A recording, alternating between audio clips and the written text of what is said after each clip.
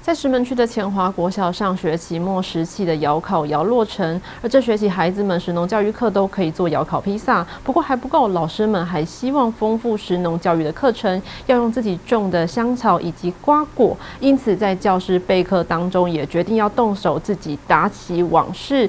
而钢骨结构完成之后，教师们看着自己搭建的网室，也都有了满满的成就感。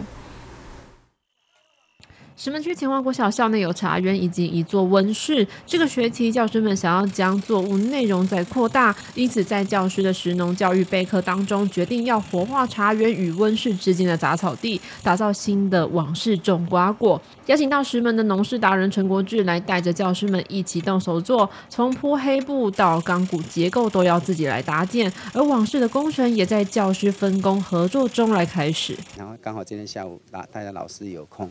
共同来完成这一座光芒。就是现在是雏形已经出来了，然后到时候上面这个还要再网子再下去，然后旁边再种下南南瓜啦，或是那个像有一种卜啊，葫芦葫芦形的卜啊，哦，然后我的构想是说，以后可以叫毕业班他们种下瓜。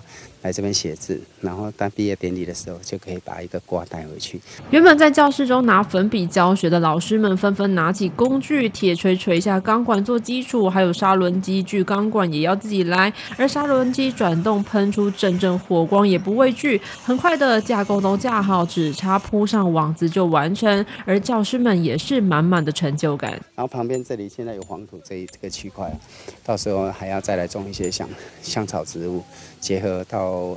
他们窑烤披萨里面去做披萨用的，哦，然后刚好旁边又是一个网室，所以是一个一个很好一个环境，一个很好一个石农教育地这样。我们今天由那个国志老师呢来带领我们，我们这边呢事实上是要种一个香草园，哈，还有一个瓜藤的步道，哈啊，所以在大家的呃就是全体老师的合作之下呢，我们就。呃，亲自的把一根一根的那个杆子呢，把它搭起来了，非常的辛苦。可是大家就是完成之后，大家心里面非常的高兴。清华国小校长表示，教室里上学期末打造了新的窑烤炉，而这学期开始，孩子们的食农教育多了窑烤披萨的课程。为了要丰富窑烤披萨以及课程内容，决定要加重瓜果以及香草植物。而现在网事完成，除了老师获得成就，孩子们也将会有新的教学场域可以使用。记者廖平涵石门采访报道。